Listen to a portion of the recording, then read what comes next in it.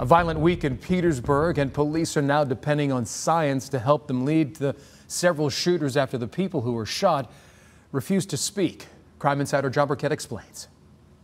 A man survives multiple rounds of high caliber ammunition. Petersburg police believe that man and the man with him both know who the shooter is. What's frustrating to investigators, even though he was almost killed in the attack, he's still not giving up information. Early Thursday morning, a car on East Wythe Street near Old Wythe absorbs a lot of lead. The passenger shot multiple times in his face. Recovered um, 45 caliber um, casings, and we recovered um, rifle casings, 7.62.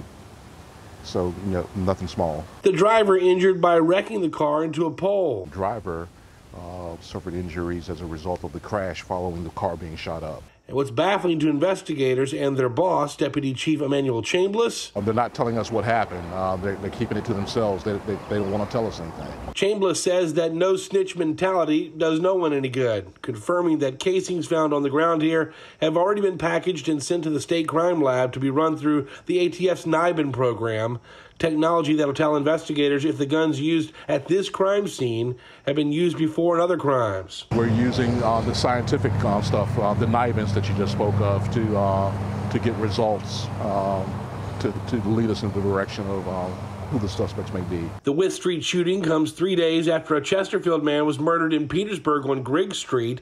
Detectives say there's no connection between the cases other than heavy rounds littering the streets. It could have been anybody around walking or other cars driving through the area at that time that could have been hit by gunfire that weren't a part of what was going on. Petersburg police have made an arrest in the homicide investigation, but they say they're looking for information in the life-threatening shooting.